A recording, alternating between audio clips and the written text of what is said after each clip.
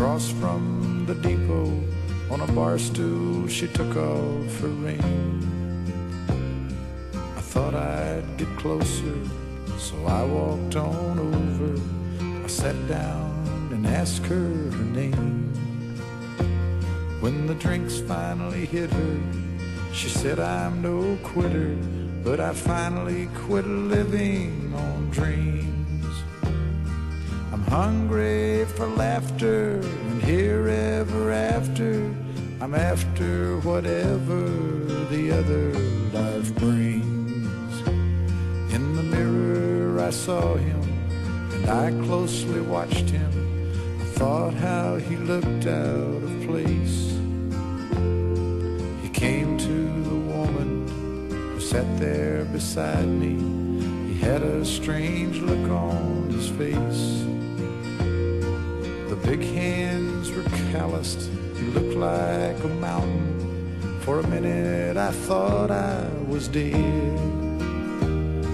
But he started shaking. His big heart was breaking. He turned to the woman and said, You picked a fine time to leave me, Lucille. With four hungry children and a crop in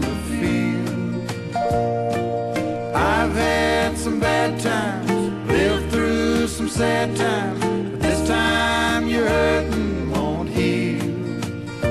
You picked a fine time to leave me, Lucille.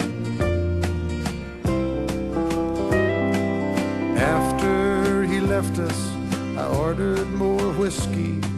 I thought how she'd made him look small. From the lights of the bar room to a rented hotel room, we walked without talking at all. She was a beauty, but when she came to me, she must have thought I'd lost my mind. I couldn't hold her, the words that he told her kept coming back time after time. You picked a fine time to leave me, Lucy, hungry children and a crop in the field. I've had some bad times, lived through some sad times, but this time your hurting won't heal. You picked a fine time to leave me, Lucille. You picked a fine time to leave me, Lucille.